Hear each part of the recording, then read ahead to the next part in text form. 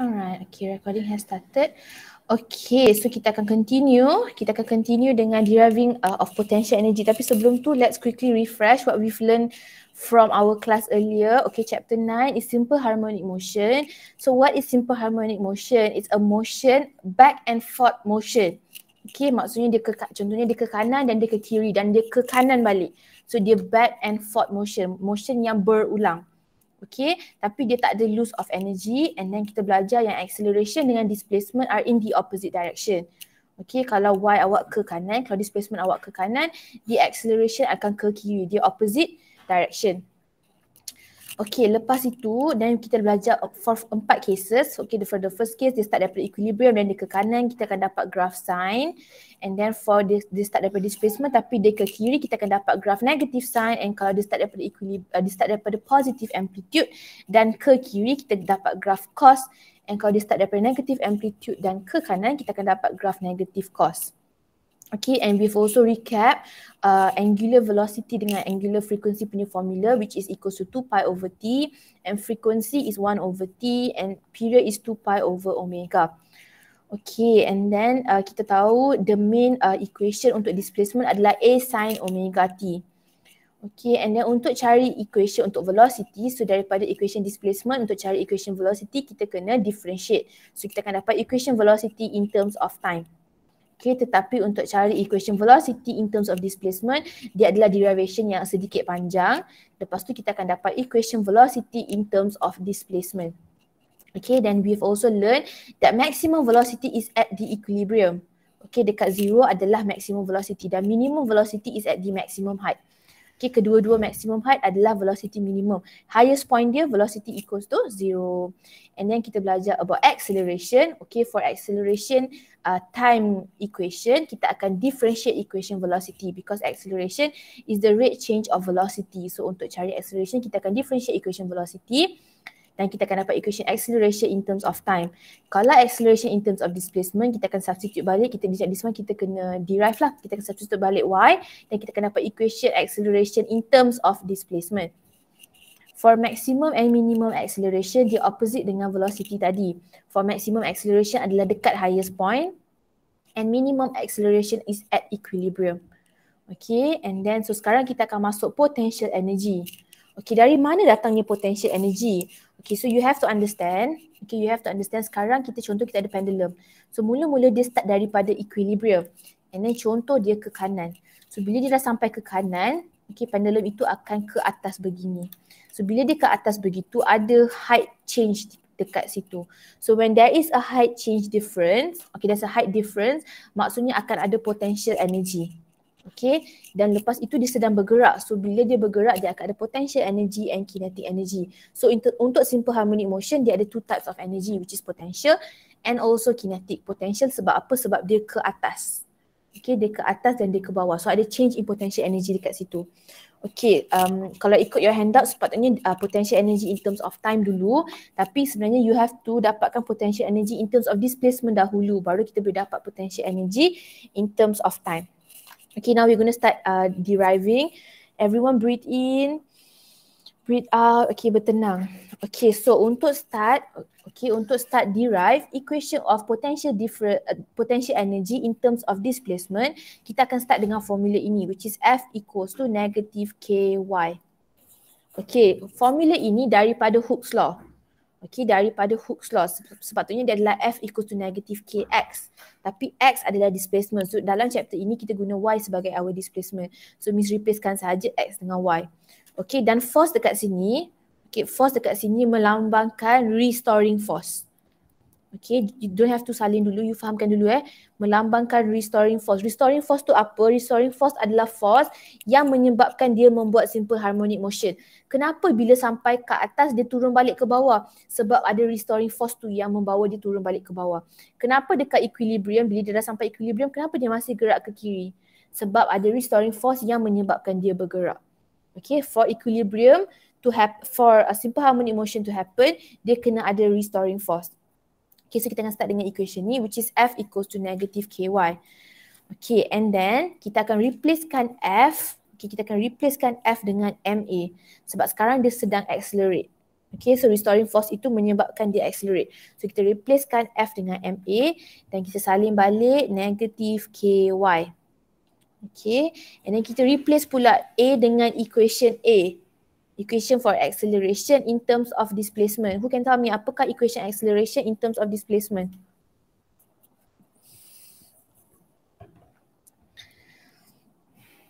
Equation acceleration. Negative omega square y. Okay, very good. Thank you. Negative omega square y equals to negative ky. Okay, lepas tu kita akan cancelkan. Kita akan cancelkan the negative dan kedua-dua y itu kita akan cancelkan juga. So kita akan dapat k equals to m omega. Okay, k ni apa? Miss Lupa nak cakap tadi. K ni apa? K ini adalah nilai constant. Okay, k adalah nilai constant. Y ni adalah displacement. So kita akan dapat equation k equals to m omega. So yang ni akan jadi equation number 2. Okay, mana equation number one? Equation number one adalah equation biasa yang kita guna. Equation potential energy untuk um, elastic potential energy which is 1 over 2 sepatutnya ky squared. Sepatutnya kx squared tapi Miss gantikan dengan 1 over 2 ky squared. Okay, so this is our equation number one. Equation elastic potential energy daripada chapter 5 eh, elastic potential energy. Okay, so now we have U equals to 1 over 2 ky squared dengan K equals to M omega squared. So macam biasa kita akan substitute, okay, kita akan substitute K ke dalam equation number 1. So we, kita akan sub equation 2 into equation 1. Okay, sub equation 2 into equation 1. So kita akan dapat U equals to 1 over 2. K ini kita gantikan dengan M omega squared. Okay, sebab K equals to M omega squared. So K ni kita gantikan dengan M omega squared. So M omega squared Y squared. Okay, so kita dapatlah equation untuk potential energy which is U equals to 1 over 2 M omega squared Y squared. Okay, so this is the equation untuk potential energy in terms of displacement. So potential energy in terms of displacement. Okay, so dari mana kita start? Kita akan start daripada F equals to negative KY which is kita punya restoring force. Formula restoring force. And then kita akan guna equation U equals to 1 over 2 KY squared. Ini adalah elastic potential energy. Kenapa kita guna elastic potential energy? Sebab dia keep returning to its original place. Okay, kita, dia keep returning to its original place. Sebab tu U equals to 1 over 2 KY squared. Lepas itu equation F ni kita gantikan dengan MA dan kita masukkan equation acceleration in terms of displacement dan kita cancelkan Y dan kita cancelkan negatif. Kita dapat K equals to M omega squared. Okay dan kita masukkan K equals to M omega squared ke dalam equation U equals to 1 over 2 KY squared. So kita dapatlah equation potential energy in terms of displacement. Okay, cumanya sekarang equation ini pun penting juga. K equals to M omega squared adalah equation yang kita boleh guna bila-bila sahaja. So kalau kat sini kan ada M omega squared kan. Tapi kalau soalan bagi you nilai K, okay, kalau soalan bagi you nilai constant K, so M omega squared ni you, you dah boleh gantikan dia dengan K. So sebenarnya kita ada lagi satu equation untuk potential energy which is U equals to 1 over 2 KY squared. Just in case soalan tak bagi M dengan omega tapi dia bagi nilai constant K. So kita boleh gantikan. Okay, so dua-dua pun boleh. So K equals to M omega squared ni menjadi equation yang penting lah. So you have to know this equation as well. Okay, kalau awak faham awak tekan satu, kalau awak tak faham awak tekan dua. Ada soalan boleh tanya terus eh. Miss bagi masa untuk you um, Miss bagi masa untuk you salin dan fahamkan. Eng, Eng, are you okay? Uh, tak faham ke tak faham? Uh, I tak faham. Okay, you tak faham. Which part you tak faham eh? Untuk guna elastic potential energy, Mm-hmm. guna, like kena like you say because it keeps on returning Mm, to mm. original position ah. Mm-mm. But I, I don't understand why. Okay, sebab if nanti nanti kita akan in, in 9.3 kita akan tengok yang pendulum is one case. Pendulum adalah the first case untuk simple harmonic motion. Ada banyak lagi case untuk simple harmonic motion. Kalau you ada string, you, kalau you ada spring, okay, you ada spring dan you ada object dan you tarik benda ni ke bawah, what happens? Dia akan ke bawah dan dia ke atas balik, ke bawah, ke atas balik, ke bawah, ke atas balik. So that is another example of simple harmonic motion. So dia ada juga kaitan dengan elastic potential energy. Then miss untuk K Mhm. constant What Mhm. what constant like constant saja. Ah, is this nilai constant. Unit dia adalah Newton, Newton per meter. Kalau dia adalah if that case guna spring then dia akan jadi spring constant. Kalau dia bukan spring then dia nilai constant sahaja will be given in the equation. Macam mana nak dapat K, you boleh cari mass darab dengan angular velocity ataupun angular frequency, you boleh dapat K juga. Okay, thank you, Miss. Okay boleh eh.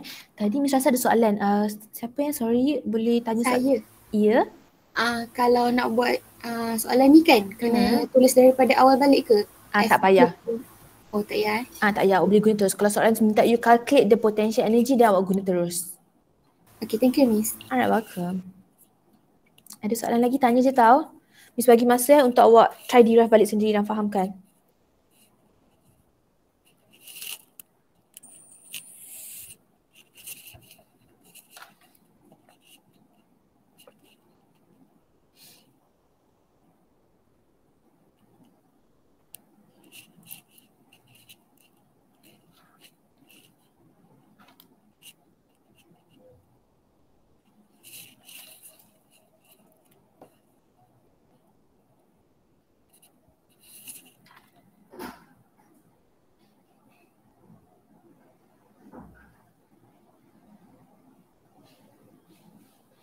Um, so Miss, semua Mhm. formula we kena ingat. ah.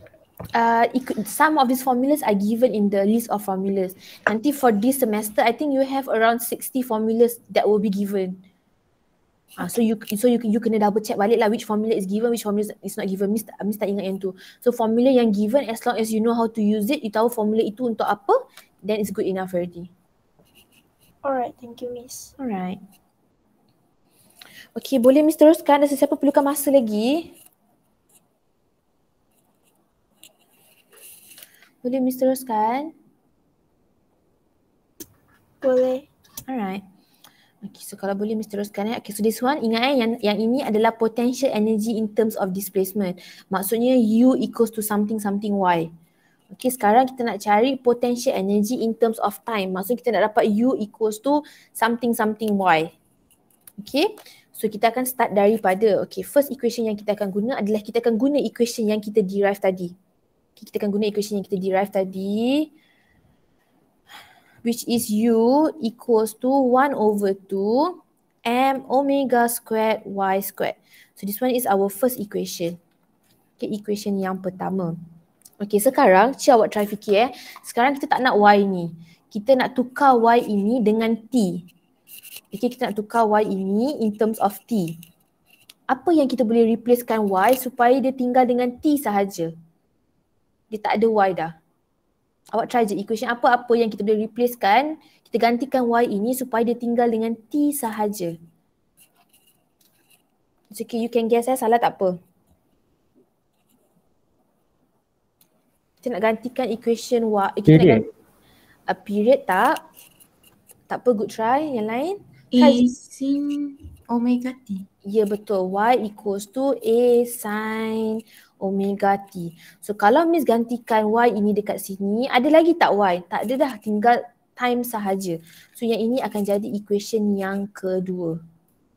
Okay, so kita akan sub masuk sebab sekarang kita nak tengok, kita nak potential energy in terms of time. So the moment ada Y ini, kita tak nak Y ini. Kita nak gantikan Y dengan something yang ada T supaya Y ini dah tak ada.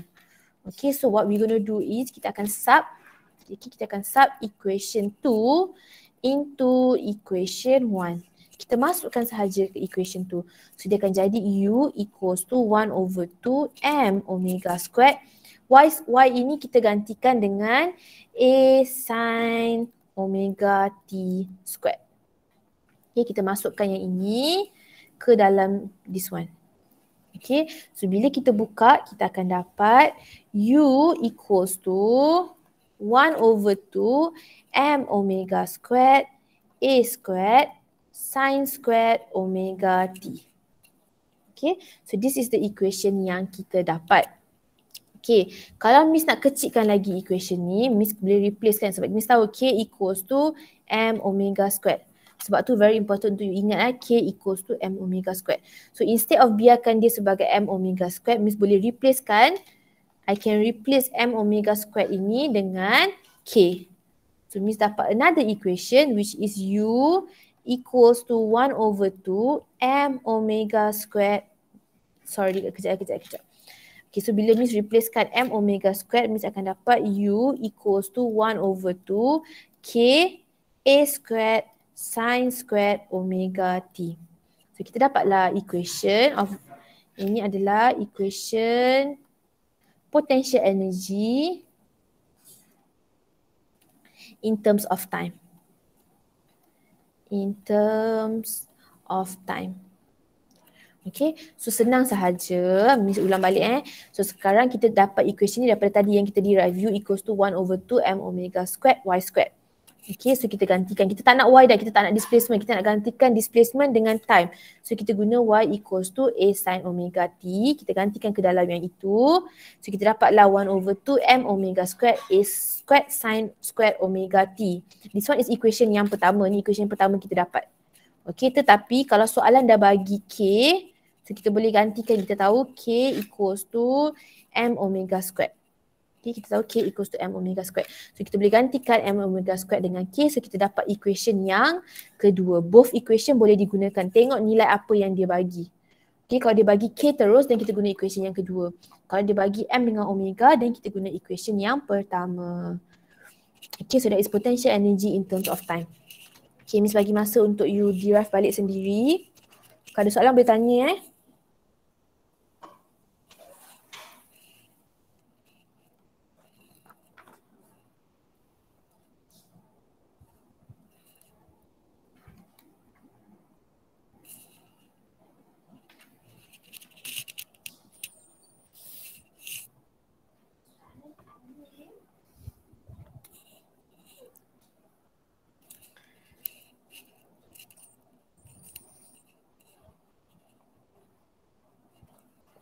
Bila awak dah faham dan dah siap derive then you say done dekat chat box eh. Bila awak dah faham dan dah siap derive.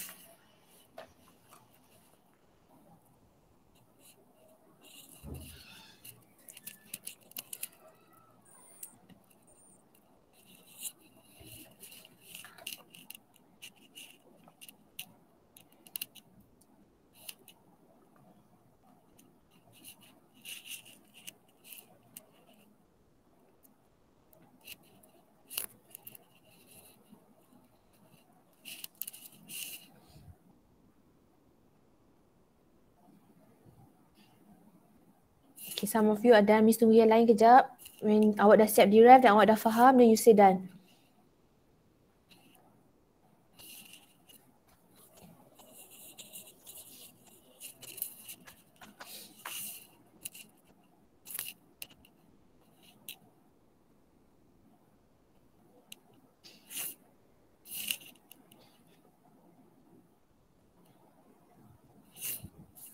Okay, quite a number of you are done. So sekarang Miss teruskan. Ada sesiapa yang nak Miss tunggu? Anyone? Okay, kalau tak ada Miss teruskan eh. Okay, sekarang kita akan masuk equation yang kedua which is kinetic energy. Tadi Miss kata sebab sekarang pendulum ataupun kita punya uh, spring dia akan keep moving. Okay, so dia akan ada kinetic energy and also potential energy sebab dia bergerak atas bawah. Okay, so now kita the next one kita nak derive adalah kinetic energy. Okay, So pay close attention. Kita tahu formula untuk kinetic energy adalah K equals to 1 over 2 mv squared. Okay, so this one is equation yang pertama. Okay, lepas tu kita tengok. Kita nak dalam terms of apa? Kita nak kinetic energy in terms of time. Kita nak kinetic energy in terms of time. Maksudnya sekarang kita tak nak V dah. Kita tak nak V. Kita nak K equals to something something T. So apa yang kita boleh gantikan dengan V supaya V tu hilang dan ada T. Equation apa yang kita boleh masukkan dekat V supaya V itu hilang dan tinggal T sahaja. V equal to A omega cos omega T. Yes, very good. V equals to A omega cos omega T. So yang ini akan jadi equation yang kedua. So macam biasa balik. And what, what are we going to do? Kita akan sub equation 2 into equation 1. Jangan salah ni, fahamkan dulu. Okay, so bila kita masukkan kita akan dapat, hmm, dah salah warna dah yang kejap nak padam juga. Okay, so bila kita sub masuk kita akan dapat K equals to 1 over 2M. Okay, V ini kita gantikan dengan equation A omega cos omega T. Okay, so A omega cos omega T dan jangan lupa squared. So bila you buka you akan dapat kinetic energy equals to 1 over 2 M M omega squared. Kan kita ada squared kat sini kan. So means bawa omega squared tu terus ke depan dah. Okay, A squared cos squared omega t. Again eh, semua akan squared. So squared ni untuk A, untuk omega dan untuk cos omega t. Cos omega t ni sebagai satu. Okay, so A squared kat sini, M dengan omega squared means bawa kumpulkan dia kat depan, cos squared omega t. Okay, so yang ini adalah equation kita yang pertama. Okay, siapa boleh teka apa equation kita yang lagi satu? Kalau Miss nak pendekkan equation ini, apa akan jadi equation yang lagi satu? K, K equals to M M omega omega squared. squared. Yes, very good. M K equals to M omega square. Omega square ni mesti gantikan dengan? Okay. Yes, mesti gantikan dengan K. So K akan jadi 1 over 2 K K A squared cos squared omega T. Okay, so yang ini adalah equation kita yang kedua. Okay, tapi usually untuk kinetic energy um, kita akan guna yang ini lebih lah sebenarnya. Okay, tapi sama je sebenarnya. Kita akan hanya kita just masukkan saja M omega square ni kita gantikan dengan K. Sebab kita tahu, sebab kita tahu K equals to M omega square. Okay, so kita masukkan saja. So kita dapat another equation. Tapi jangan confuse eh, this one is kinetic energy. This one is constant. Okay, so ini adalah equation kinetic energy in terms of time. Kita ambil saja equation kinetic energy 1 over 2 mv squared. Kita masukkan V in terms of time. So kita dapatlah kinetic energy in terms of time. Okay, now you can uh, derive yourself. Kalau ada ada soalan tanya eh.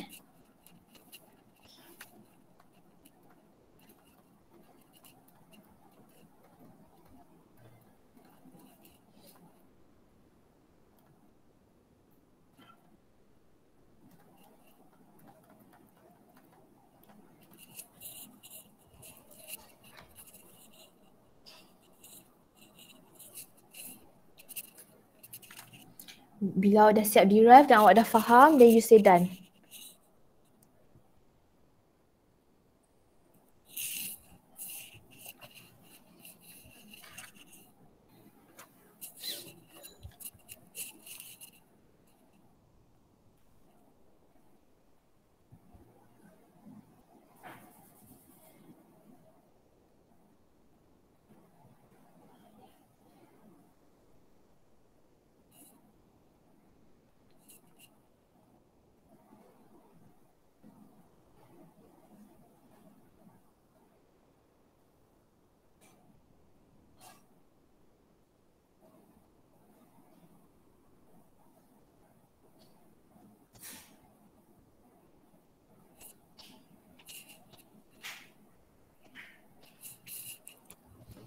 Okay, kalau awak dah done, Miss tunggu kawan yang lain kejap. Awak try di derive equation kinetic energy in terms of displacement.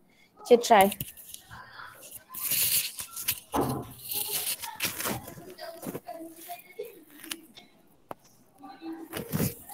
Okay, awak try dulu ya. Kejap lagi Miss tunjuk.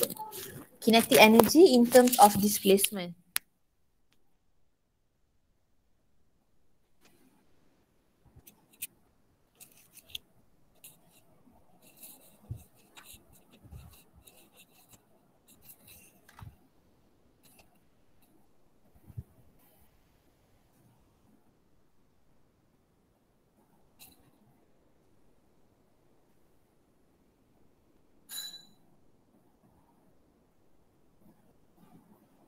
Ramai juga datang. Okay, Miss teruskan eh. Miss teruskan kepada kinetic energy in terms of displacement.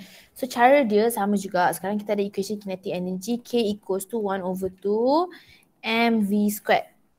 Okay, so this one is equation yang pertama. Cumanya sekarang, okay, cumanya sekarang kita nak equation kinetic energy in terms of displacement. So, V ini kita tak nak V dah. Kita nak gantikan dia dengan displacement. So equation apa yang kita boleh guna untuk gantikan V dengan displacement? Awak teka je, salah tak apa.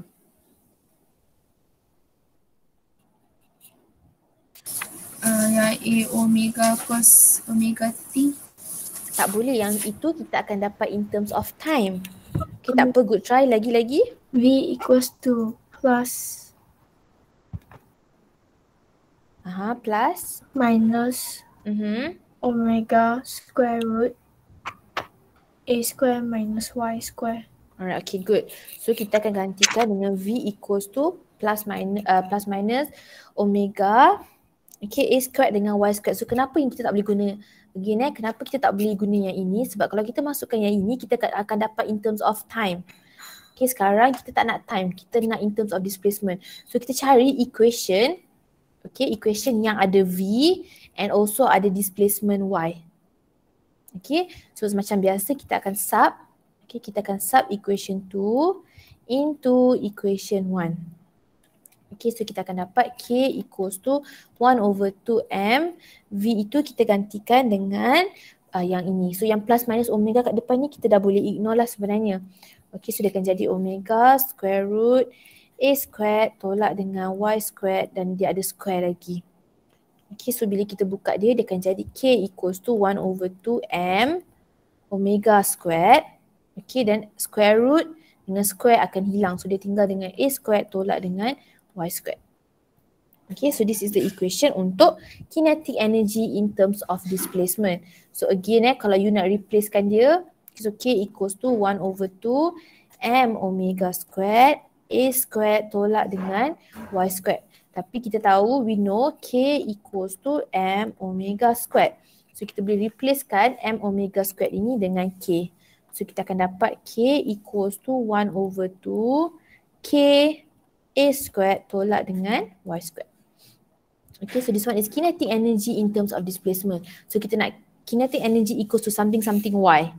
Okay, so begitulah caranya. So again eh, kita start daripada equation kinetic energy K equals to 1 over 2 mv squared. Tapi sekarang kita nak hilangkan V, so kita kena cari equation yang ada V dengan Y. So kita masukkan sahaja dan kita akan dapat kinetic energy in terms of displacement. Okay, so Miss bagi masa again for you to derive. Okay, tapi sebelum tu, if you faham, uh, every you can follow everything sampai sekarang, please press one. Kalau rasa awak confused ke, ada tak apa-apa tak faham, uh, tekan dua eh. Miss, Ya. tak apa ke? Uh, Mhm. Kan dia ada plus minus tu. Macam Mm-hmm. kita tak sekali kan masuk. Ah tak apa sebab bila kita squared, okay, bila kita squared nilai omega tu kena nilai yang positif. So kita akan dia akan jadi positif juga. Okay, so sebab itu kita boleh ignore plus minus kat depan ni. Oh, faham. Okay. Boleh Thank eh? Alright. Alright.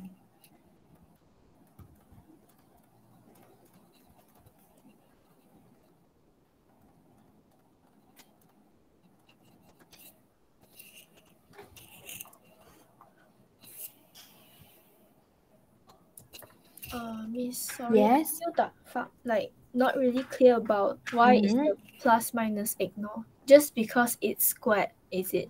Ah, that is one reason. And usually kalau you perasan nanti when we do questions nanti, usually kita akan ambil sebab you akan dapat dua value V. So maximum contohnya you, you akan dapat V bila dia dekat sini and another V bila dia dekat sini. So it's not maximum height tau.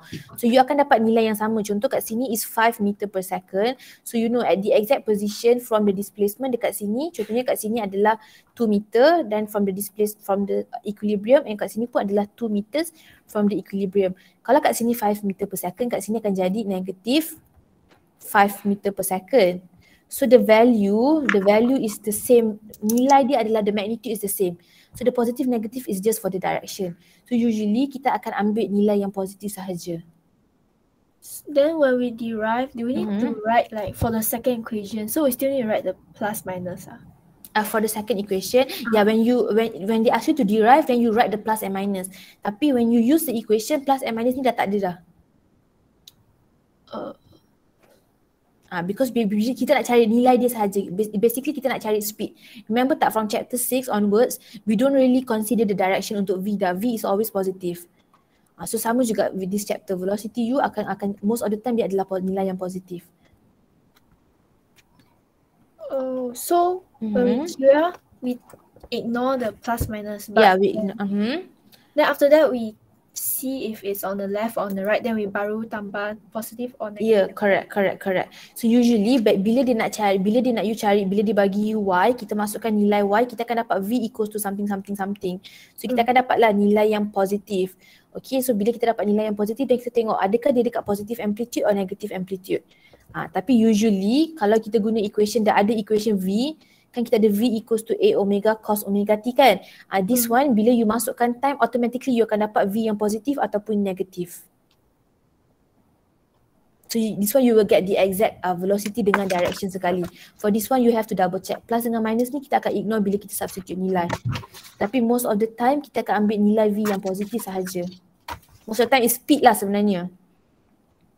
Okay, thank you Miss. Alright, welcome. Okay, ada soalan apa-apa lagi tak sebelum Mr. teruskan? Okay, so kita dah dapat eh kinetic energy in terms of time and this one is kinetic energy in terms of displacement. Okay, so kita move to the last part. Um, last part untuk 9.1. Okay, last part untuk 9.1 which is emphasize the relationship between simple harmonic motion energy and amplitude. So tadi kita cari asing, kita cari kinetic energy, lepas tu kita cari potential energy. Sekarang dia nak energy, dia nak the total energy ataupun the general energy.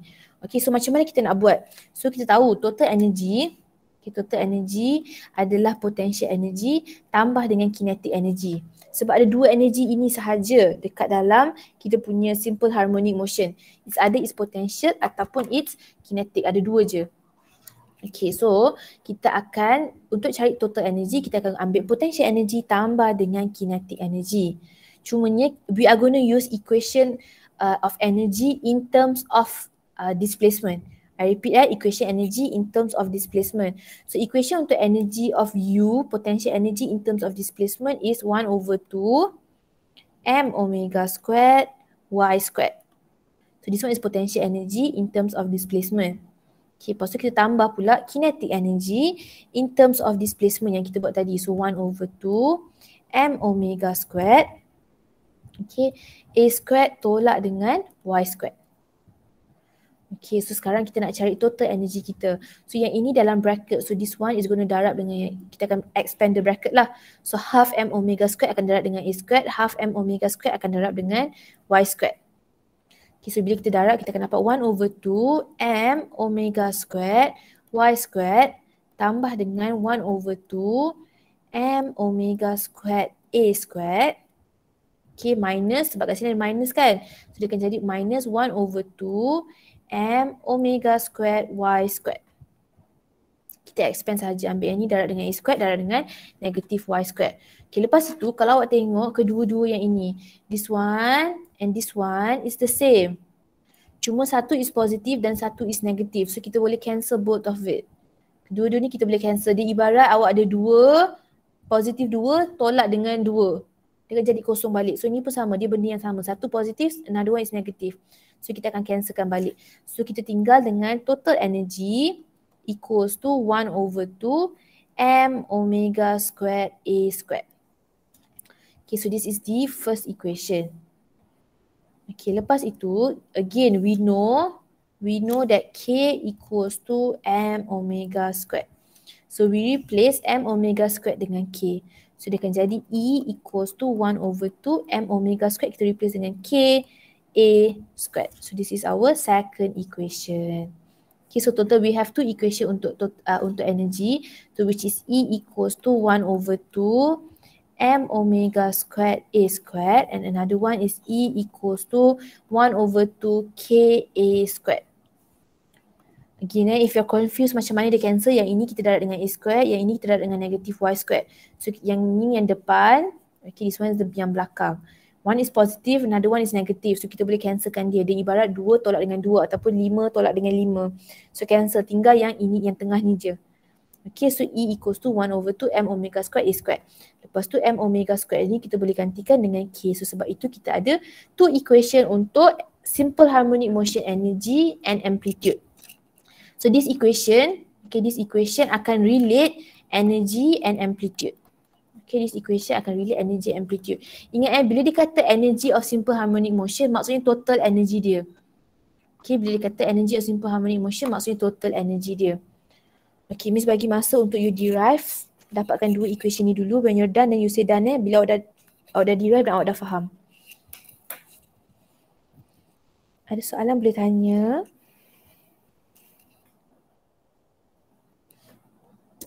Um, sorry, Miss. Hmm. Tapi uh, I I'm confused again about Hmm. the elastic potential energy. Sebab sekarang is finding the potential energy. Kenapa Mhm. tak guna tu gravitational potential energy? Sebab the height also different, right? Aha, but the height is different not because of gravity. The height is different because ada restoring force tu. Restoring force comes from the uh, spring ataupun comes from the pendulum which is rotating. So sebab itu dia ada restoring force dan sebab itu kita akan guna elastic potential energy which is benda tu akan it is some elastic potential energy means the system is elastic. Means when you do something to the system, the system will return back to its original place. Okay, so sama juga when you pull it to the right, okay, when you let it go, it it will swing and it will return balik to the right. So it shows an elastic um elastic characteristic lah or elastic property. Sebab tu kita guna elastic potential energy. Clear tak now? Okay, clear already. Thank you. Boleh ha? Okay.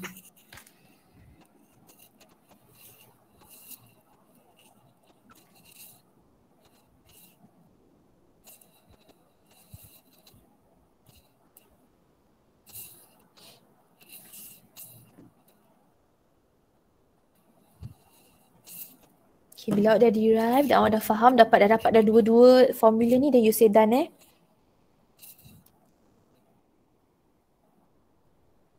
Take your time untuk fahamkan dulu.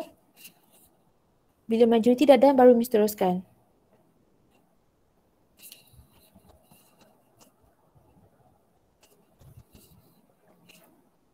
Uh, Miss Maria, uh, Mhm. maksudnya kan macam Mhm. uh, elastik campur dengan kinetik tak uh, kita punya gravity kita abaikan ke?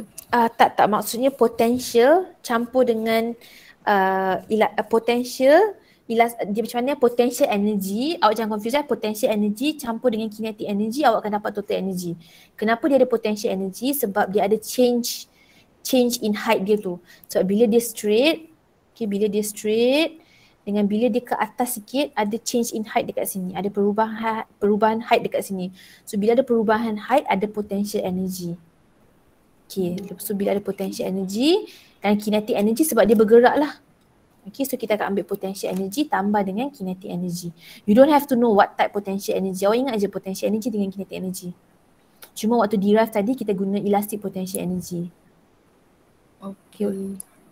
Boleh eh? Ah, boleh, boleh. Alright. Kalau korang confused, korang tanya je terus tau.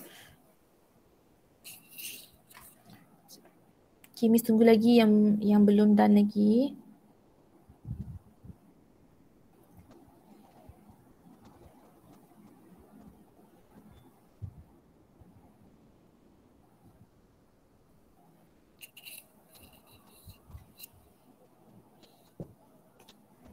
Uh, Miss, Yes. I want to ask. Mm-hmm. Uh, so, why didn't we consider the um, gravitational potential energy?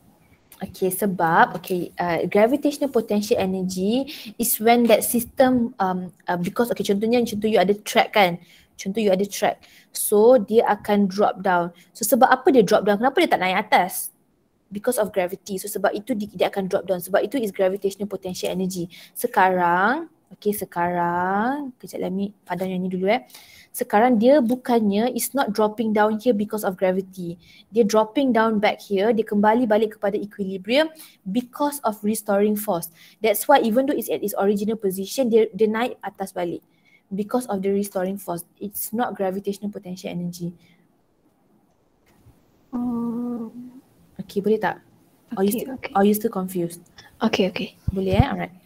So jangan confuse ya. Korang ingat je potential energy. Potential energy and kinetic energy. Okay, Miss teruskan eh. Miss teruskan boleh? Boleh. Alright. Okay, sekarang. Okay, sekarang this one is also very important. So make sure you pay attention dulu. Okay, so now I want you to ingat balik. Sekarang kita ada pendulum. Okay, pendulum. So mula-mula de- dekat equilibrium. Okay, lepas itu dia akan start swing. Contohlah dia start swing ke atas dulu. So bila dia swing ke atas, okay, bila dia swing ke atas dia akan sampai to this point. Okay, lepas itu dia akan return balik. Lepas tu dia akan return balik. Kita guna warna lain pula. Okay, dia akan return balik kepada equilibrium. Lepas dia return ke equilibrium, dia akan pergi ke the next maximum uh, height pula. Okay, so right now apa kita nak buat adalah kita nak identify kita nak identify the energy. Energy-energy yang ada dekat point uh, point dia. Okay, so first untuk kita identify energy, kita kena check balik velocity kita maksimum kat mana dan velocity kita minimum kat mana. Okay, dekat mana velocity kita adalah minimum? Amplitude. Yes, very good. Uh, kita punya velocity is minimum dekat amplitude. So kita tahu at this point, Okay, at this point kita punya velocity is minimum. Maksudnya velocity kita equals to zero. Remember dekat highest point velocity velocity kita equals to zero. Bila velocity equals to zero, automatically kinetic energy kat dekat maximum point ini equals to zero. Okay, sama juga dekat sini. Dekat sini velocity minimum. Okay, dekat point yang paling tinggi. Remember your highest highest point ataupun highest height, maximum height, velocity u equals to zero. So when your velocity equals to zero, kinetic energy will also equals to zero. Okay. So bila okay lepas tu kita check untuk potential energy pula. Your your velocity akan maximum dekat mana? Dekat which point is your velocity maximum? Equilibrium. Equilibrium. Very equilibrium. Very good. So velocity akan maximum dekat equilibrium. So dekat sini adalah V maximum. So bila V maximum automatically dia membawa masuk kinetic energy kita pun maximum juga. Okay. How about potential energy? Kat mana korang rasa potential energy akan maximum? Amplitude. Amplitude, very good. So potential energy U akan maximum at the amplitude, positive amplitude. So it equals to potential energy maximum. Dekat point sini juga sebenarnya adalah potential energy maximum. Dekat equilibrium, Okay, dekat equilibrium ada potential energy atau tak ada? Tak ada. Tak ada potential energy dekat equilibrium equals to zero. So korang nampak tak the trend? The trend di mana bila potential energy maksimum, kinetic energy akan jadi zero. Bila bila velocity adalah maksimum, bila kinetic energy adalah maksimum, potential energy akan jadi zero. Bila kinetic energy adalah kosong, potential energy akan jadi maximum. So dia take turns, bukan take turns sebab apa? Sebab total energy kita adalah constant ataupun it's conserved.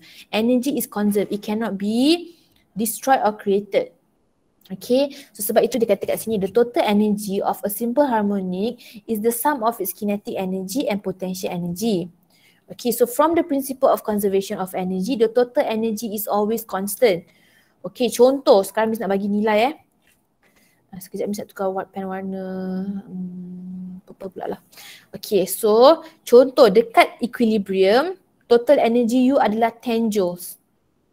Okay dekat maksimum dekat sini pun total energy U kena 10 joules. Dekat sini pun kena 10 joules. Tapi apa yang 10 joules can change. Contoh dekat sini 10 joules ini belongs to kinetic energy. Sebab kinetic energy maksimum potential energy kosong dekat sini, dekat amplitude, okay, dekat amplitude kinetic energy U kosong. So 10 joules ini sebenarnya adalah potential energy. Okay, dekat sini pun sama.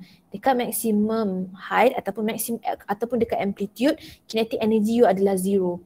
So 10 joules actually belongs to the potential energy. Okay, kalau korang tak faham lagi tak apa. Okay, sekarang kita tahu total dia kena 10 joules. Okay, total dia kena 10 joules. So contoh kat tengah-tengah ni. Contoh kat tengah-tengah ni. Kalau kinetic energy kita adalah 7 joules. Contoh eh, contoh kinetic energy kita adalah 7 joules. Potential energy kita kena berapa? Tiga. Kena 3 joules. Contoh dekat sini pula. Okay, contoh dekat sini pula. Potential energy kita adalah 2 joules. Kinetic energy kita kena berapa? Lapan. Lapan. Alright, pandai. Okay, so that is what is trying to say. So tak kisahlah dekat point mana-mana, semua kinetic energy kita kena 10 joules. Okay, tapi 10 joules ini mewakilkan energy apa?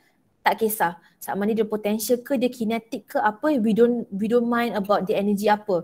Cuma total dia kena 10 joules. Sebab itu kita bawa keluar statement energy equals to Okay, energy equals to potential energy tambah dengan kinetic energy. Dan bila kita tambahkan dia, kedua-dua kena nilai yang constant. Okay, maksudnya kalau lagi, kalau satu naik, contoh kinetic energy is higher, potential energy akan decrease. Supaya kita dapat balik nilai yang constant. Kalau, okay, kalau potential energy increase, kinetic energy akan decrease untuk dapat balik nilai constant. Okay, siapa tak faham? Awak mengaku je tak apa, Miss try explain balik. Uh, Miss, Mm-hmm. maknanya uh, dia punya energy ni conserve lah Miss? Ya betul, energy dia is conserve. So dekat setiap point energy dia adalah conserve. Cuma dia energy dia conserve dalam bentuk, uh, energy dia dalam bentuk apa dia berubah. It can be potential ataupun kinetic fully ataupun it can be potential and kinetic. Miss, Ya. Um, so, sorry ya nak tanya. Mhm, mhm. Yang kenapa kenapa yang V minimum zero, uh, kinetic dia jadi zero? eh? Sebab sebab kinetic energy equals to 1 over 2 mv squared kan. So bila V kita equals to 0, automatically kinetic energy pun akan equals to 0. Sebab tu dekat maximum uh, dekat amplitude kinetic energy akan 0. Oh okay Miss, thank Boleh you. eh? Alright. Yang ini pun sama. Sebab bila V maksimum, kalau yang ini jadi maksimum, kinetic energy kita pun akan maksimum. Okay. Soalan lagi. Um, tadi Hatta tanya Hatta okey tak? Okay Miss. Alright. Yang lain ada soalan lagi. Okay, kalau dekat chat box yang ni korang kena betul-betul faham eh sebab nanti kita nak plot graph ni. If awak tak faham benda ni, susah untuk awak fahamkan ni nanti. Okay, so dekat chat box, kalau awak faham awak tekan satu. Kalau tak faham awak tekan dua. If awak nak miss ulang balik any part pun bagi tahu sahaja.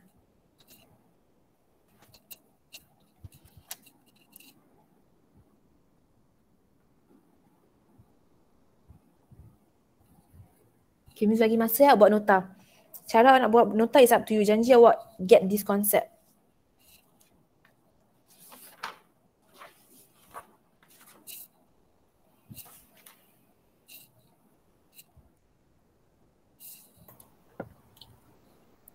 Um, Miss, kenapa untuk equation of total simple harmonic motion energy and amplitude we must guna displacement and not time?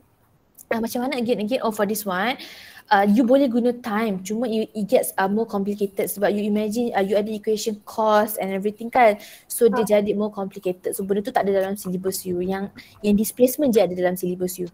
Oh, so dua-dua pun boleh guna, right? ha dua-dua pun boleh. Sepatutnya you akan dapat jawapan yang sama Oh, okay, okay. Thank you, Miss. alright Okay, kalau awak dah buat nota dan awak dah faham dan you tekan done eh.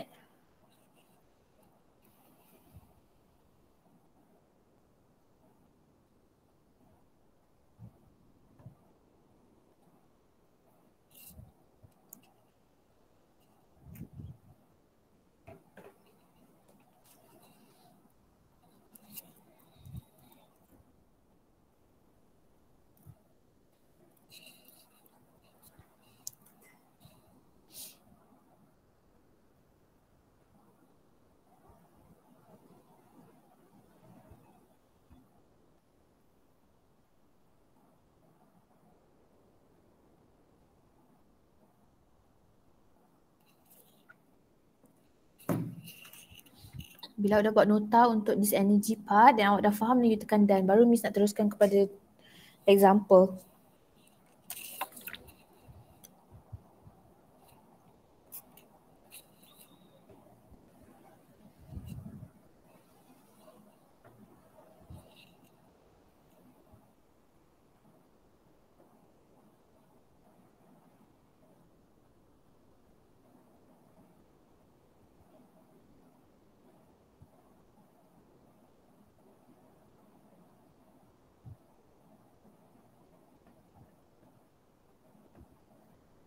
Okay, ramai dah done.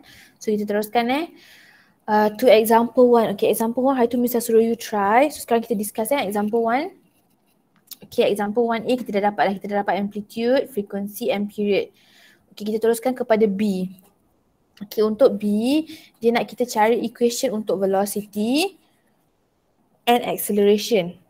Okay, equation untuk velocity and acceleration.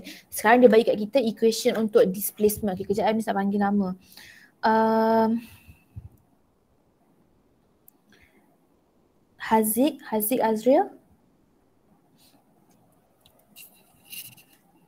Ya, Miss. Alright, okay. Macam mana nak cari equation V daripada equation X?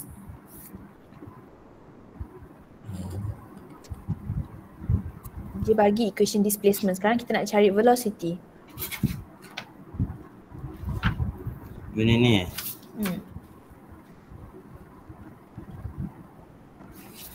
Apa definition velocity? Uh, apa? Velocity is the Ah, Cepat cari equation velocity in terms of uh, velocity in terms of time.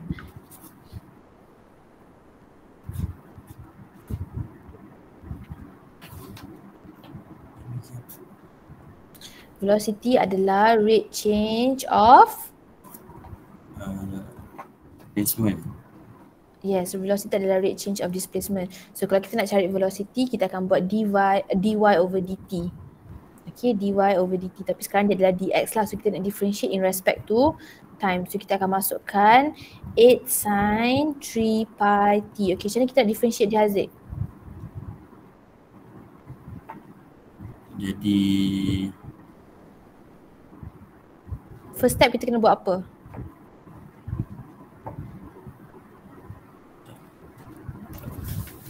bahasa ya, Miss. Apa? Confused. Confused. Okay, make sure you pay attention eh. Okay, Hatta you want to try?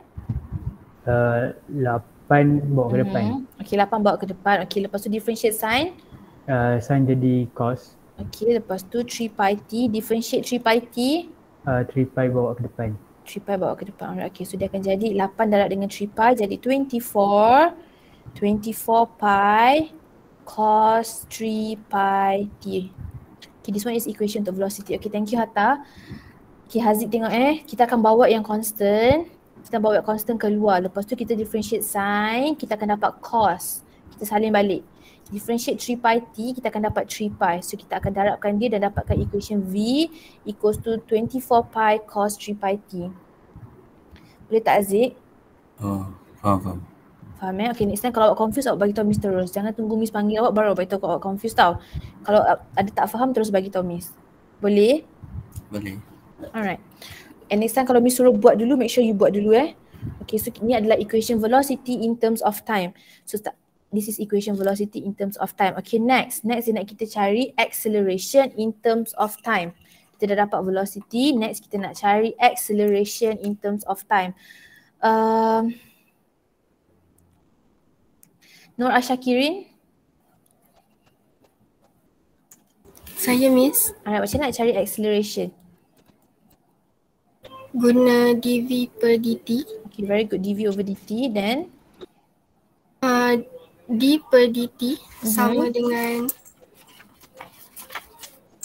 Mhm. negatif 8 uh, negatif 8. Dia mana dapat negatif 8 ni? Oh, maksudnya awak, awak tengah bagi Miss jawapan ke? Ha ah. Oh, awak tengah bagi Miss jawapan. Okey, tak apa. Kita buat satu-satu. Kita differentiate dulu eh. Uh, Miss, Miss masukkan dulu equation. 24 pi cos 3 pi t. Okey, macam nak differentiate dia? Uh, negatif 8 Okey, negatif 8. lepas tu sin 3 pi t. Hmm, Saya terus guna yang equation tu. Awak guna yang ini ke? 8 sin 3 pi t ni? Ah. Oh, okey tak boleh, tak boleh, tak tak boleh, tak apa. Sebab apa? Sebab apa? Sebab sekarang dia adalah dv over dt. So yang awak kena masukkan kat sini adalah equation v which is 24 pi cos 3 pi t. Sekarang untuk cari acceleration, kita kena differentiate equation velocity bukan equation displacement. Okay, faham tak salah kat mana? Okey faham faham. Faham eh? So kita tak boleh guna equation y tau. Kita kalau kita differentiate equation y, kita akan dapat equation v. Sekarang kita nak cari acceleration. So untuk acceleration kita akan differentiate equation v. Okay, tolong differentiate kan macam nak differentiate? Nak Syakirin. Ah, 24 tu keluarkan. Alright, 24 pi ni pun kita boleh bawa keluar juga 24 pi. Okay, lepas 24 tu pi, lepas tu jadi sin. ne- uh, positif atau negatif? Differentiate Positif. cos dapat Dengan negatif sin. uh, negative sin 3 pi t. Okay, differentiate 3 pi t. Jadi 3 pi. Okay, 3 pi very good. So 24 darab dengan 3 akan dapat negative 72 pi squared sin 3 pi t. Okay, so this is your equation untuk acceleration. Okay, boleh tak Syakirin?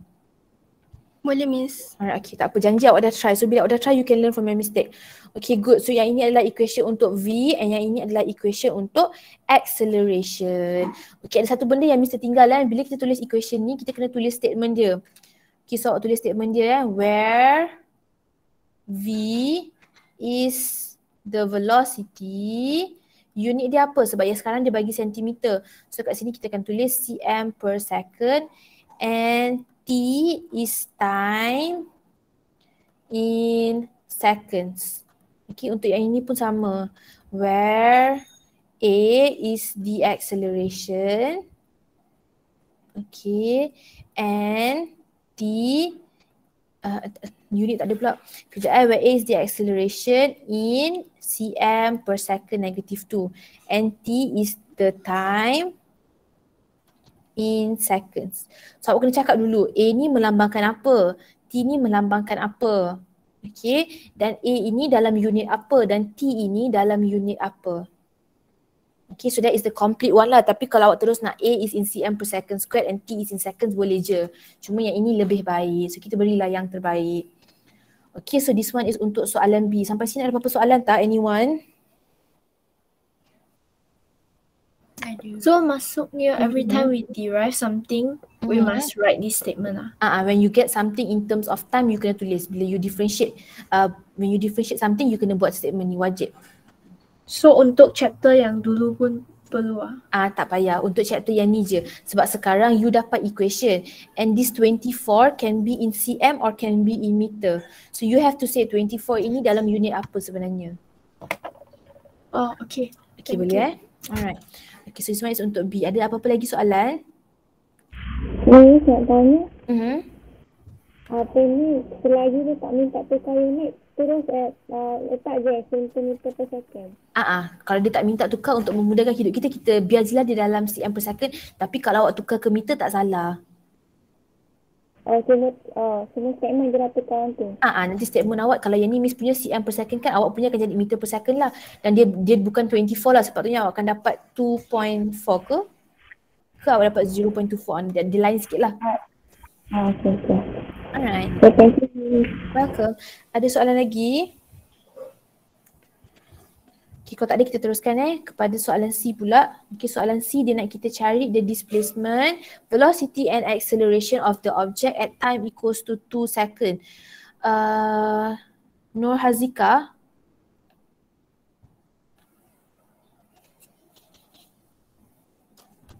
Miss. Alright, okay, macam nak cari uh, displacement in 2 seconds? Um, masukkan 2 seconds tu dalam X sama dengan 8 sin 3 pi t. Alright, okay, very good. So kita akan masukkan 2. Dapat berapa?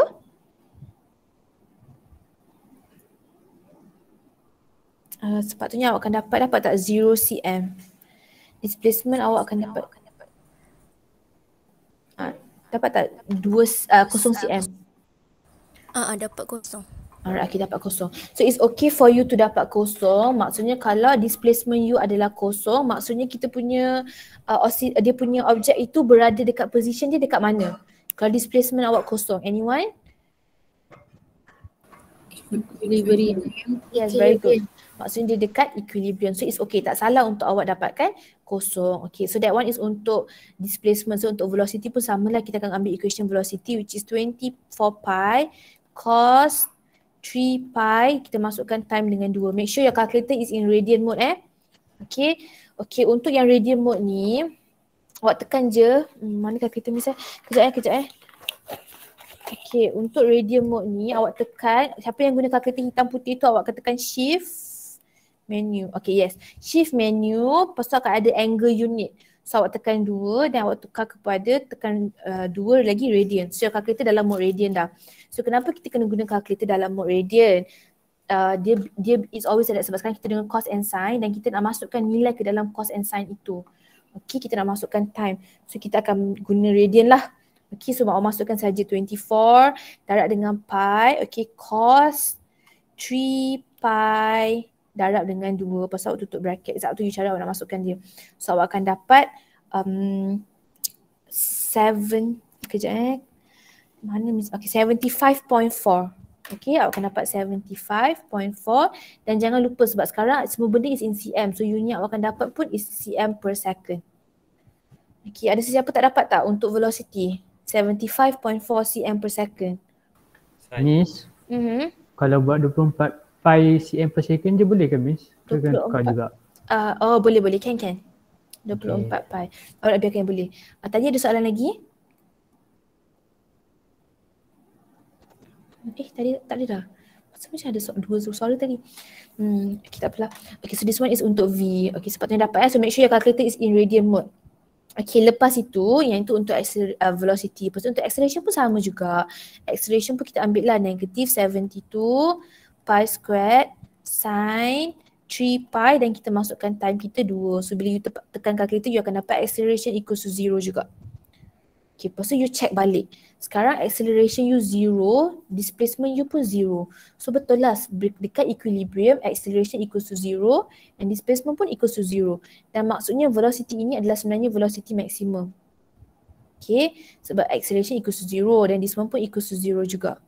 Okay, so maksudnya nilai yang you, yang awak dapat untuk velocity ini adalah velocity maximum sebab sekarang kita tahu benda ni is at equilibrium dan velocity adalah maximum dekat equilibrium. Okay, boleh eh? So that one is untuk soalan C. Soalan D mesti ada tempat dah. Uh, Miss buat kat sini lah. Okay, soalan D dia nak ma- uh, maximum speed and maximum acceleration of the object. Maximum speed and maximum acceleration. Kalau Miss, okay, if if you ask me lah, kalau awak tanya Miss, Miss akan ambil terus nilai dekat depan ni. Nilai kat depan ni adalah nilai maksimum. So V maximum sebenarnya adalah 24 pi meter per second. Dan acceleration maximum sebenarnya adalah 72 pi squared. Awak nak ambil nilai yang positif pun boleh. So A maximum akan jadi 72 pi squared uh, cm per second squared. Dia adalah nilai maksimum. Kenapa dia adalah nilai maksimum? Again, bila awak plot graph, nilai kat sini kita akan letak nilai yang kat sini. So this one is actually nilai maksimum. Okay, tapi kalau ada yang tak nak guna this way, awak boleh masukkanlah dalam equation which is V maximum equals to, macam tadi V maximum equals to A omega. Okay, omega A ataupun A omega dah awak masukkan saja. Inilah maksud Miss, bila kita cari nilai maksimum ataupun A maximum, usually kita tak akan consider the negative sign dah. So, everything akan jadi positif. Walaupun V maximum kan ada plus minus omega A kan. Okay, V maximum equals to plus minus omega A. So, awak masukkanlah omega awak dan A. Okay, awak akan dapat juga nilai yang sama. Untuk A maximum pun sama. A maximum equals to omega omega squared A. Okay, dan bila awak masukkan, awak akan dapat juga nilai yang sama. So, kita tak akan consider the positive and negative dah. Kita akan ambil nilai terus.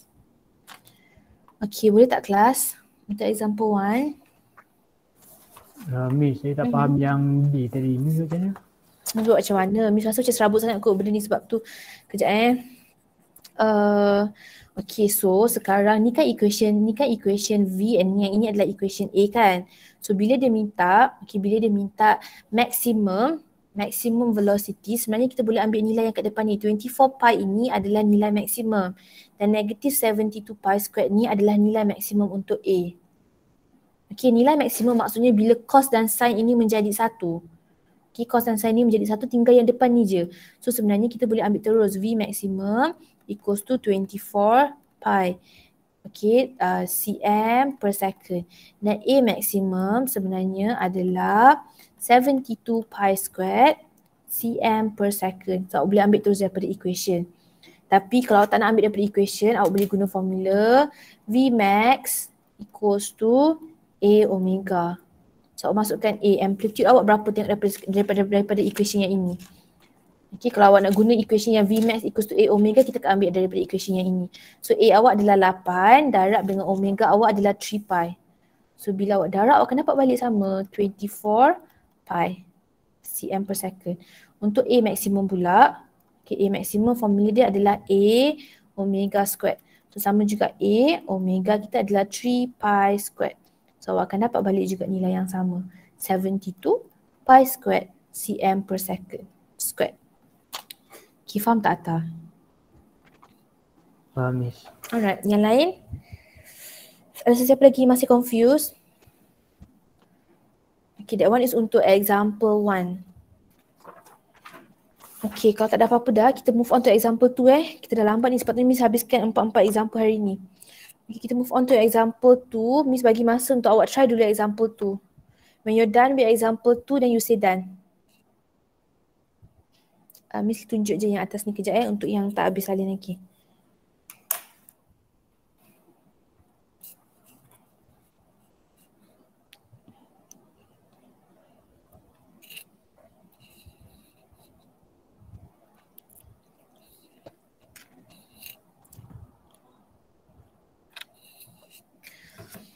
When you're done with example 2 dan done eh. Example 1 ni adalah um, soalan PSPM most of the time adalah macam example 1. Okay.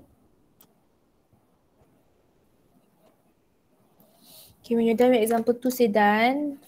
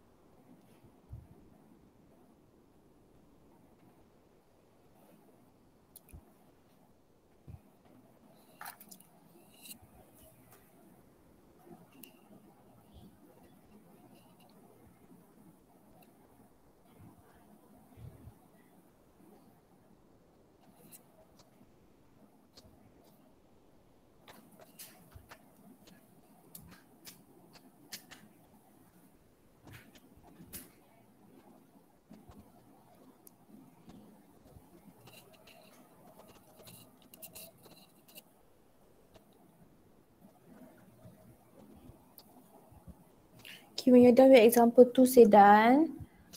Kalau korang stuck pun bagi tahu tau.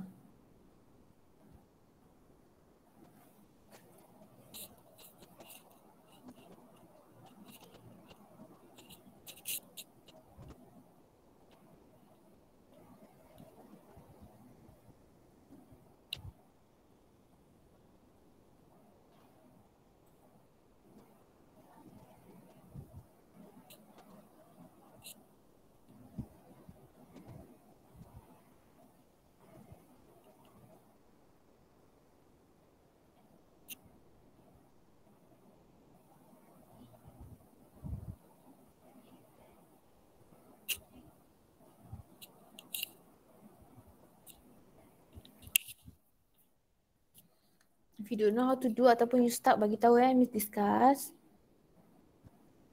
Um, Miss nak tanya mm-hmm. untuk kinetic energy punya simbol do you write KE atau K saja? K sahaja. Okay, thank you Miss. Alright.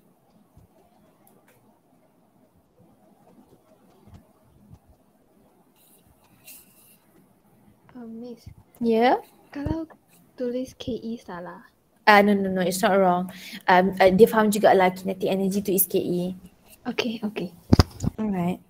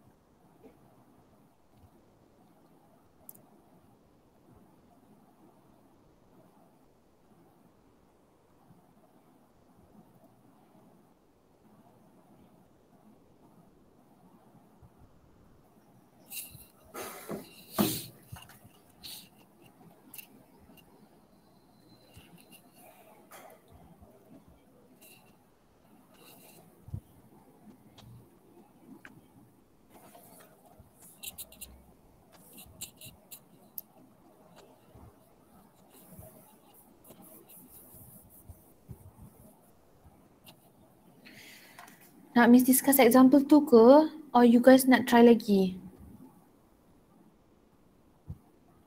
Nak miss discuss or nak try lagi? Discuss Miss. Discuss Miss. Discuss eh? Alright, okay. So for example tu, dia kata dia bagi mass of the object is 3 kg. Okay, mass of the object is 3 kg. Execute simple harmonic motion on a smooth horizontal surface.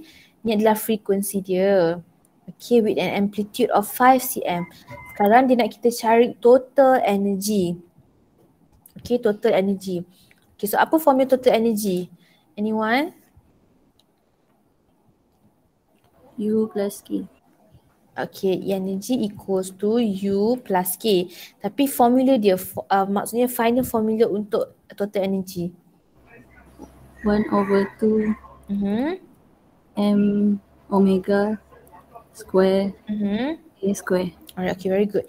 1 over 2 M omega square A square. Sekarang amplitude kita dah ada. Mass pun kita dah ada. Yang kita tak ada sekarang adalah kita tak ada omega. Tapi kita ada frekuensi. Macam mana kita nak cari omega daripada frekuensi?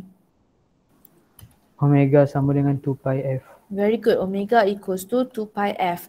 Macam mana Miss dapat omega equals to 2 pi F? Sebenarnya omega equals to 2 pi over T. Lepas tu 1 over T ini adalah sebenarnya F. So dapatlah 2 pi F. So omega equals to 2 pi F. So kita darabkan sahaja.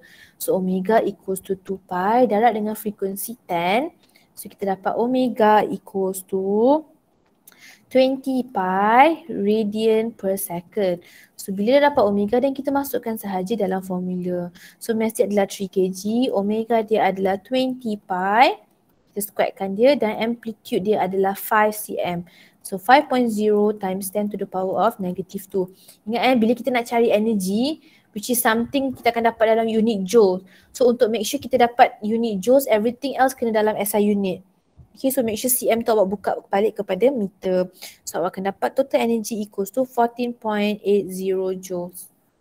Okay, that one adalah is untuk soalan example 2A. Okay, lepas tu kita buat B pula. Okay, untuk B, dia nak potential and kinetic energy dekat position 3 cm. Okay, potential and kinetic energy dekat position 3 cm.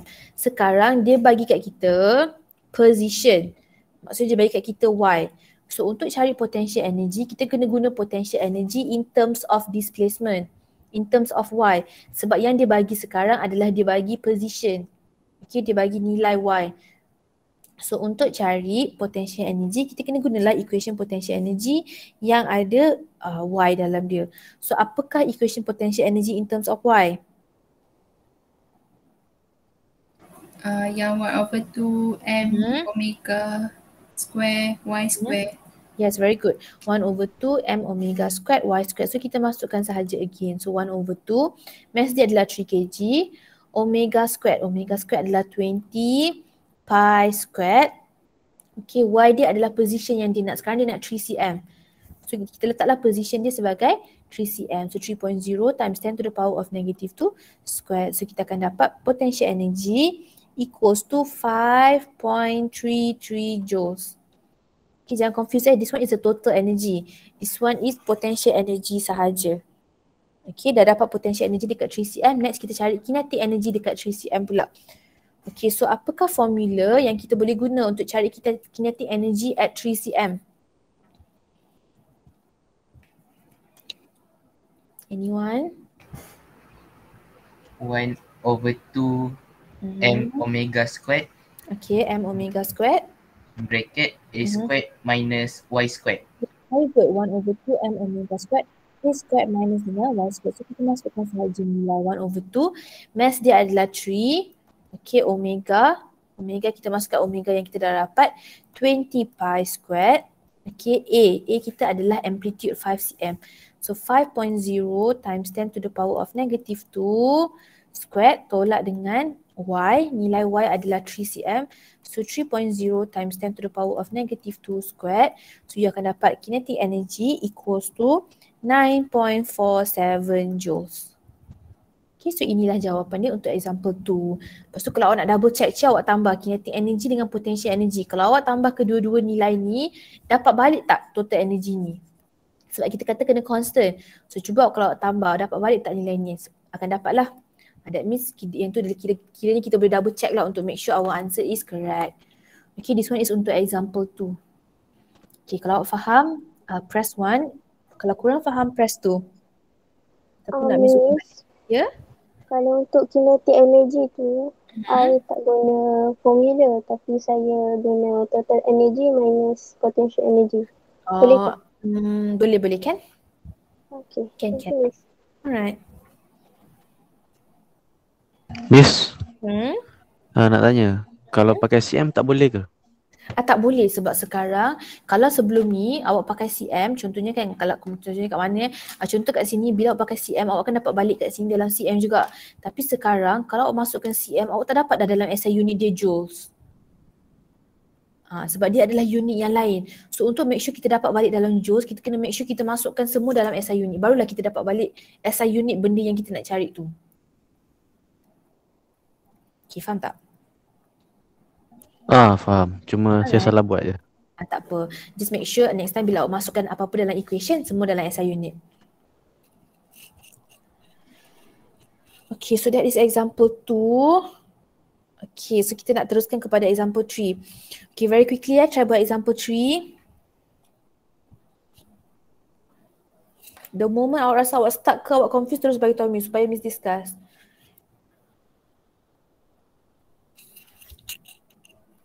Kalau soalan tanya tahu.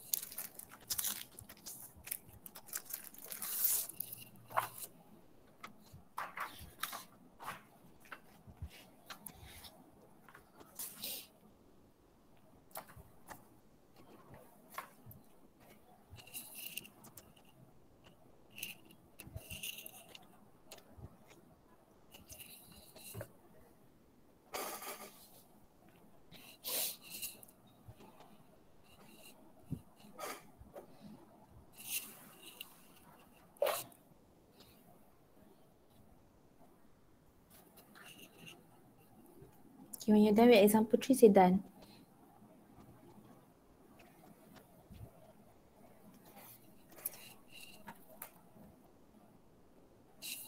Example 3 ni dia quite tricky sikit eh.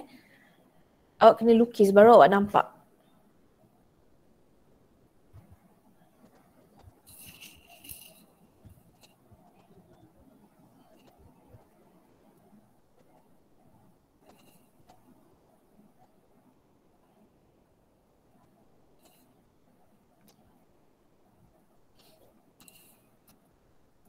Okay, Miss bagi clue eh for example 3. Okay, korang tengok dulu. Okay, dia kata a body hanging from one end of a vertical spring performs a vertical simple harmonic motion. So sebenarnya dia adalah vertical simple harmonic motion. So maksudnya dia adalah daripada atas sampai ke bawah. Okay, daripada atas sampai ke bawah. So bila daripada atas sampai ke bawah sebenarnya ini adalah point equilibrium kita. Okay, lepas itu dia kata the distance between the two points at which the speed of the body is zero is 7.5 cm. Okay, dekat mana speed of the body adalah zero? Amplitude. Amplitude. So contoh yang ini adalah positive amplitude and this one is our negative amplitude. So the distance between the two points, okay so dia kata the distance between the two points at which the speed of the body is zero is 7.5 cm. So adakah 7.5 cm itu adalah amplitude kita? Tak. Tak. So amplitude kita berapa sebenarnya?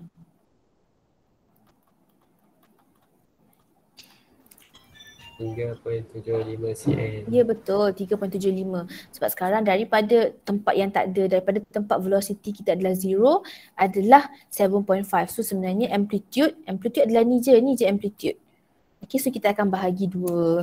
So kita akan dapat amplitude sebenarnya equals to 3.75 cm. Okay, itu satu. Itu catch dia yang pertama.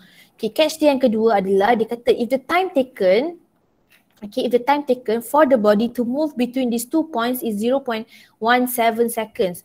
So maksudnya daripada sini sampai ke sini adalah 0.17 seconds. Adakah 0.17 seconds ni period kita atau tidak? Tidak. Tidak. So period kita berapa?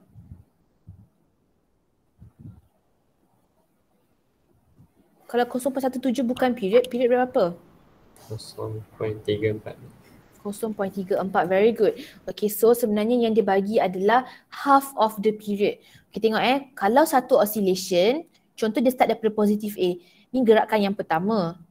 Okay, dan daripada sini sampai sini adalah gerakan yang kedua. Yang dia bagi warna hijau ni, yang dia bagi daripada sini sampai sini adalah untuk dua gerakan sahaja. Sepatutnya satu oscillation dia kena patah balik kepada original place. Bila dia patah balik, barulah cukup empat pergerakan. So sebab itu period yang period kita sebenarnya adalah 0.17 kita kena darab dengan dua. Okay ne. Yang dia bagi okay, yang dia bagi adalah daripada sini sampai ke sini. Okay, which is dua movement which is from positive A kepada zero, zero kepada negative A. Okay, untuk satu oscillation, dia kena return balik ke daripada tempat yang dia start. So kalau dia start dekat A, dia kena patah balik kepada A balik. So sebab itu kita kena darabkan period tu dengan dua. So period dia sebenarnya equals to 0.34 seconds. Okay, now Miza tolong awak cari amplitude dengan period. Okay, awak cari yang seterusnya, frequency dengan maximum acceleration. When you're done, then you say done. Kalau awak confused apa-apa, tanya terus.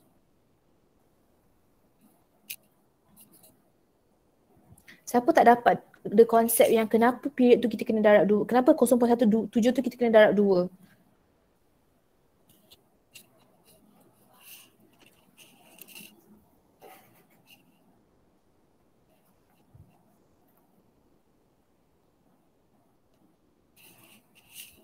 Okay, when you're done with example three, you say done.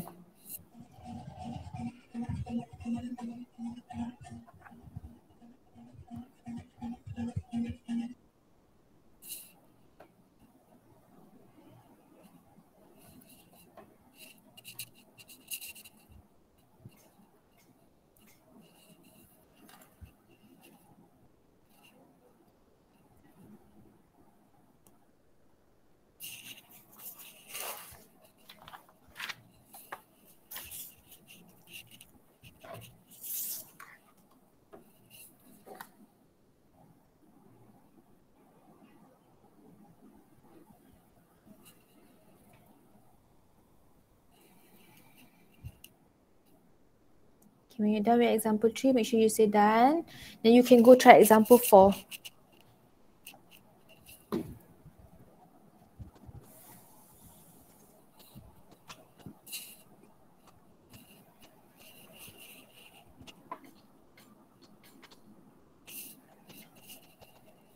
Kelas chapter ni again I mesti tekankan chapter ni banyak sangat markah. Dalam exam usually chapter ni around 8 marks ke? 8 marks ke 9 marks? Sangat banyak. So if you can score this chapter, maksudnya dalam exam you boleh dapat dah 8 to 9 marks. Compared to chapter 6, chapter 6 is around 4 marks lah usually dalam exam. And then chapter 7 usually around 5 to 6 marks. Uh, chapter 2 pun banyak juga. Chapter 2 is around 9, 10 marks. Uh-uh. Tapi chapter 10, the next chapter yang kita akan belajar, satu soalan exam dia is 13 marks. Okay, so chapter 10 tu macam bapak kepada semua chapter lah. So chapter 10 tu awak kena betul-betul fahamkan. Okay, so chapter 9 ni is the second second most important one lah followed by chapter 2. Yang yang lain semua weightage dia dah kurang-kurang sikit. Nanti Miss akan bagi. Nanti eh, nanti ingatkan Miss ya sebelum you uh, cuti mid-sem, nanti Miss nak bagi uh, some model papers and also uh, JSU untuk siapa yang nak tengok-tengok. Hmm. Tengok je lah. Okay, for example 3 kita discuss eh. Okay, so untuk amplitude Miss ajar macam nak cari amplitude. Okay, lepas tu untuk frekuensi pula kita dah tahu period equals to 0.34. So untuk cari frekuensi, frekuensi equals to 1 over period. So 1 over period dia adalah 0.34. So when you tekan calculator, you akan dapat frekuensi equals to 294 Hz. Okay, 2.94 Hz. That one is untuk frekuensi. Okay, lepas itu untuk maximum acceleration kita boleh guna sahaja formula A equals to omega squared A. Okay, dan you masukkan sahaja. So, tapi sebelum tu kita kena cari omega. Okay, jadi kita nak cari omega, apa yang kita apa yang kita boleh guna untuk cari omega? 2πf. Frekuensi. Frekuensi. So kita guna omega equals to 2 pi f. So kita darabkan sahaja 2 pi darab dengan f which is 2.94. So you akan dapat omega Okay, omega equals to 18.47 radian per second. Okay, that one is our omega. So A equals to omega kita masukkan 18.47 squared darab dengan amplitude. Amplitude kita adalah 3.75 cm. So awak kena buka balik lah. 3.75 times 10 to the power of negative 2. Uh, then you akan dapat your acceleration equals to 12.8 meter per second squared. Okay, so this one is untuk example 3. Okay, any questions untuk example 3 sebelum kita teruskan? Boleh tak, korang ada apa-apa ke lepas ni boleh tak Miss ambil 5 minit untuk siapkan example 4? Boleh ke? Boleh. Miss, Miss. Ya, ya. Saya buat uh, yang frekuensi tu 2 pi over t equals to 2 pi f. Uh, 2 pi over t equals to 2 pi f. Boleh boleh. Lepas tu awak uh, yang ni omega lah kan kat depan dia kan? Ha. Ah boleh boleh. Uh, awak boleh guna omega uh, uh, omega equals to 2 pi t ataupun omega equals to 2 pi f. Mana-mana pun boleh. Macam tadi Miss guna yang ni kan kalau awak guna yang ini pun boleh. Maksudnya 2 pi awak bahagi dengan 0.34 dapat juga kan jawapan yang sama. Kan saya buat yang frekuensi UB. Oh, oh. Tapi macam mana awak cari omega? Tak saya ni je. 2 pi over t equals to 2 pi f. Ah tak boleh tak boleh. Oh, Miss tak ingatkan ah Miss ingatkan awak nak awak nak buat benda tu untuk cari omega. Dekat sini tak boleh, dekat sini tak boleh sebab untuk cari, uh, yang yang akan connectkan uh, frekuensi dengan period adalah 1 over t sahaja ataupun 1 over f. Oh, sebab jawapan sama tu yang saya tanya. Ah jawapan sama. Maksudnya konsep awak betul. Cuma soalan yang se- sebenarnya equation yang ini adalah untuk omega, bukan untuk frekuensi. Oh, okey. Boleh tapi awak faham kan? Faham. Alright, okay. Kalau Okay. untuk omega, okay. Kalau untuk omega boleh, tapi kalau untuk frekuensi tak boleh eh. Alright, okay, that's for example 3. Okay, example 4. Korang nak try dulu ke nak miss discuss terus? Nak try dulu ke nak miss discuss terus? Discuss terus. Discuss terus. Okay, boleh. Okay, tapi korang kena janji eh walaupun miss discuss terus nanti korang kena tengok balik eh. Okay, jangan lepas awak salin jawapan miss terus awak tak tengok balik tau. Okay, awak baca dulu soalan one minute.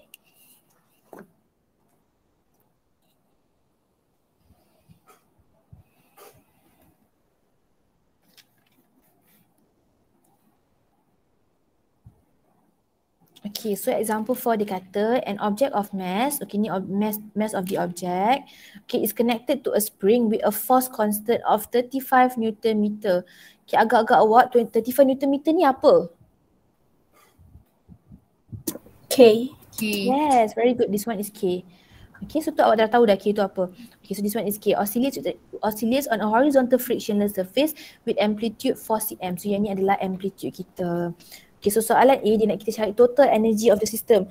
Okay, apa formula untuk total energy? E equals to 1 per 2 K. A square. Alright, okay, very good. E equals to 1 over 2 K A squared. So 1 over 2 K kita kita masukkan 35 Okay, amplitude kita masukkan 4 cm. So 4.0 times 10 to the power of negative 2 squared. Okay, so bila you tekan kalkulator, you akan dapat 0.028 joules. Okay, one untuk A. Korang jangan salin eh. Awak, awak fahamkan je dulu. Nanti awak screenshot, lepas tu nanti awak try buat balik. Okay, that one is untuk total energy. Okay, untuk B pula, dia kata the speed of an object when the position is 1 cm. So dia nak kita cari V yang dia bagi adalah Y. Equation mana yang kita boleh guna? Dia nak kita cari V yang dia bagi adalah Y. Omega square A.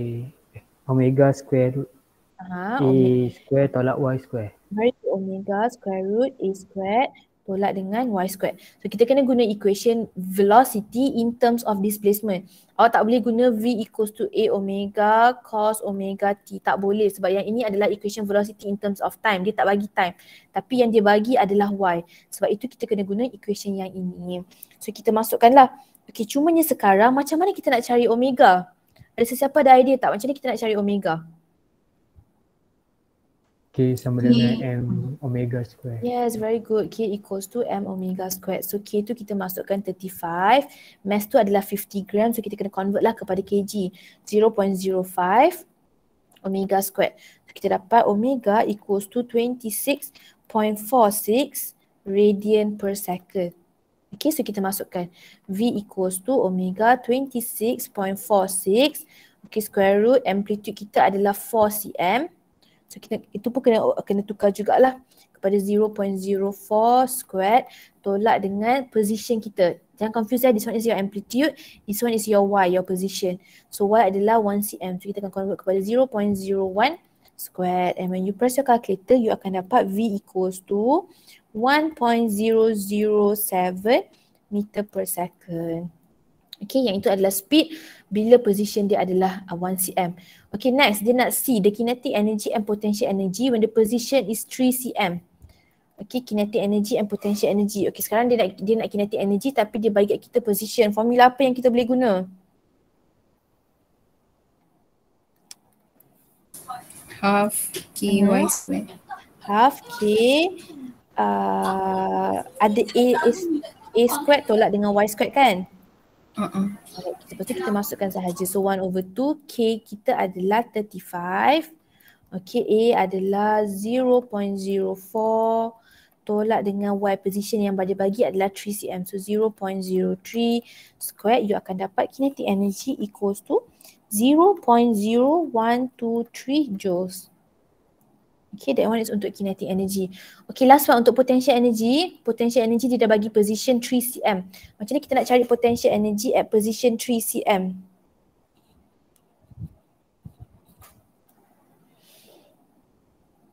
Formula apa yang kita boleh guna? Half Mhm. Half ky squared. Very good. Half ky squared. So kita masukkan sahaja 1 over 2. K kita adalah 35. Y adalah 0.03 squared. So bila you tekan calculator, you akan dapat potential energy equals to 0.016 joules. Okay. So again, kalau awak tambahkan kinetic energy dengan potential energy ni, awak akan dapat balik total energy which is 0.028 joules. Okay. Okay, kelas kita dah lambat. Okay, that's all untuk hari ini. Okay, sekarang awak screenshot. Awak jangan salin. Awak screenshot je. Lepas tu nanti awak try buat. Lepas awak tengok, awak check balik dengan yang ni eh. Okay, so um, kita akan sambung. Kita akan sambung chapter 9 tomorrow. Cuma I want you to try your tutorial questions. Okay, awak try soalan tutorial nombor satu. Uh, objective questions dah boleh buat. Objective 1, 2, 3 dah boleh buat. Awak try uh, structured questions number 1, number 2, number 3, number 4 tak payah. Number 1, number 2, number 3, number 4 tak payah. Number 5. Okay, I repeat eh. Objective question 1, 2, 3. Structured question number 1, number 2, number 3 and number 5. Okay, and then a structure, uh, itu sahaja untuk structure question tu. Objective questions ada lima soalan. And also UPS, UPS adalah pada hari UPS korang this Thursday eh. Make sure korang study. Miss tengok um, uh, yang quiz tu macam tak jalan je macam orang yang sama je yang keep doing. So make sure awak study eh. Soalan UPS very important. Siapa yang dapat below 15 untuk the last UPS, make sure you try to score at least above 15. Bila awak score above 15, barulah nanti waktu exam awak boleh lebih tenang lah. Maksudnya awak tahu macam awak tak perlu uh, terlalu